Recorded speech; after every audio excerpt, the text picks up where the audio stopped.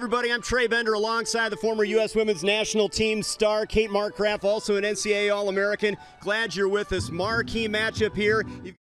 Today was a big deal for me for many ways. One, I got to come back to Notre Dame, which is something I always want to do in a commentator role. And secondly, I always want to do a men's game. And for the Irish? Well, this is a 4-4-2, and this typical Bobby Clark team, very organized and very compact, but when they break, they break fast. Number eight, Nick Besler is the anchor of this team. And number 10, Harrison Shipp is one of the lone returning goal scorers next year.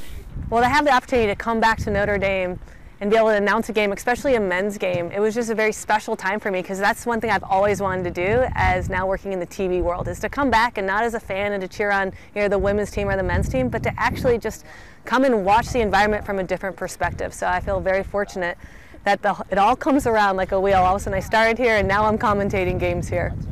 I still have a long way to go and it's nothing I ever thought I'd fall into, but I did because I have a stutter and a lisp, which you can definitely hear as I get tired or if I um, are trying to remember somebody's name. I think I said Leon Brown. I went, Le Le Le Leon Brown. What a matchup, one against four. Well, Notre Dame going into half was down one nothing, but they didn't give up. They inserted Leon Leon Leon Brown, and he has been the big difference in this game. Other than that, it's always room for improvement, but I like that. I like making mistakes, see where I can grow.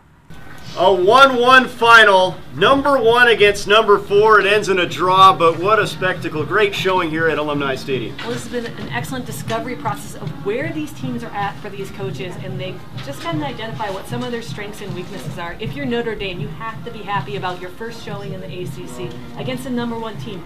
I think the goal for any commentator is get as many games as possible, and if I have the added bonus of doing it Notre Dame, it's just cherry on the cake. I just love it.